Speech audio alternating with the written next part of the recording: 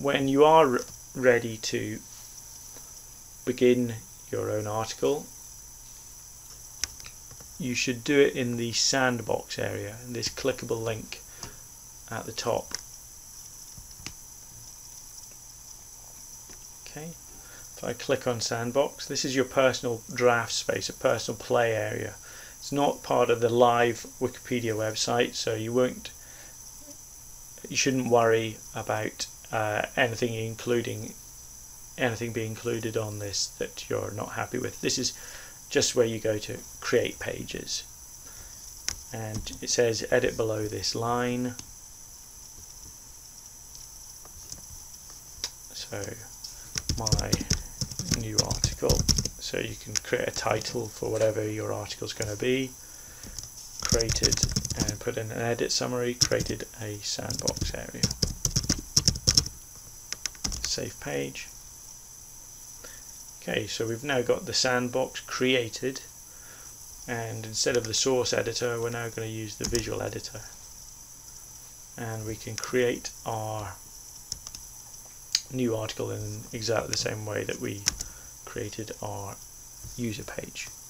Splitting it up into headings having citations, references and clickable links and once we've got about 250 words and about three references to back up what we're saying within our text then we and then and only then then should we, should we think about taking that information and putting it onto Wikipedia. So to do that, you would need to do a search first of all.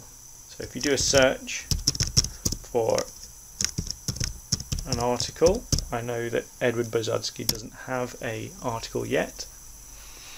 So, but you do a search just to double check that you're not going to duplicate any work that's already existing on Wikipedia.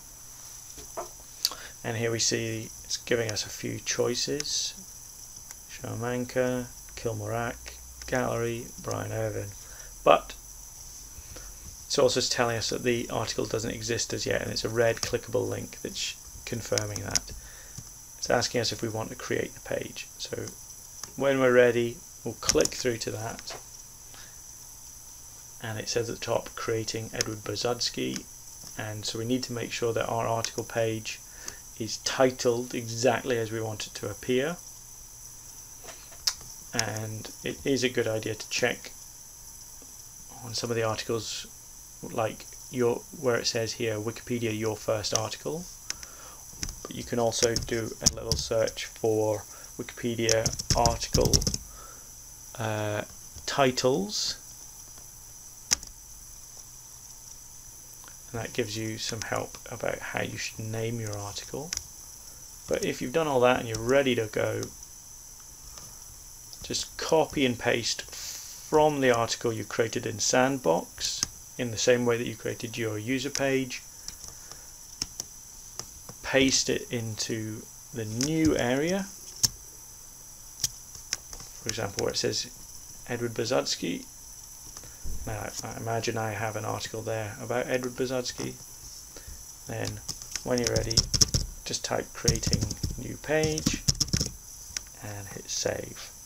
I'm not going to hit save because I'm not ready to create that page yet. But once you've hit save there at that point, your new page will be live and someone will come and check it over just to make sure it's uh, right or, or, if there's something that needs doing to it. Um, but they'll also say, well done, great job. Okay, and it's important to note that when you're creating an article, you have these two tabs create source that's using the old-fashioned source editor which is a, a, little better about copy and pasting to and from or you've got create for the visual editor which is a lot more what we're used to from creating our user page